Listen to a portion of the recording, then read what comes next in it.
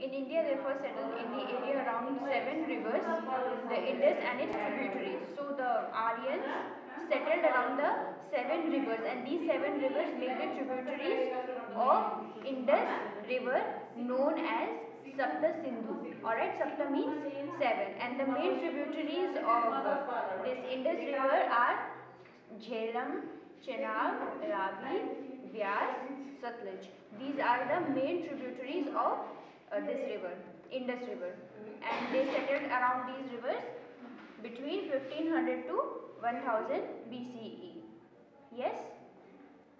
And we will uh, know what Vedas are now. Alright, so what are Vedas? Vedas are liturgical texts.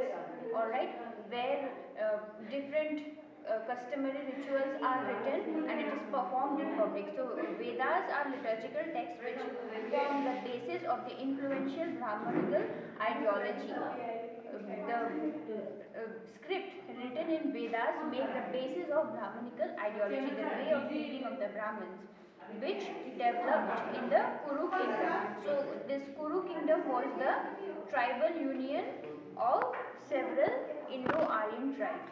Alright, liturgical text is a customary public worship performed by a religious group.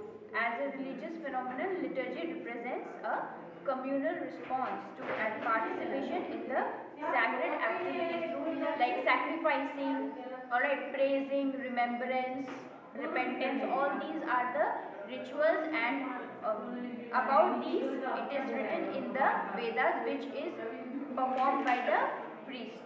Alright children? And on the basis of this lecture, I will be giving you some notes. You go through. This is it for today, children.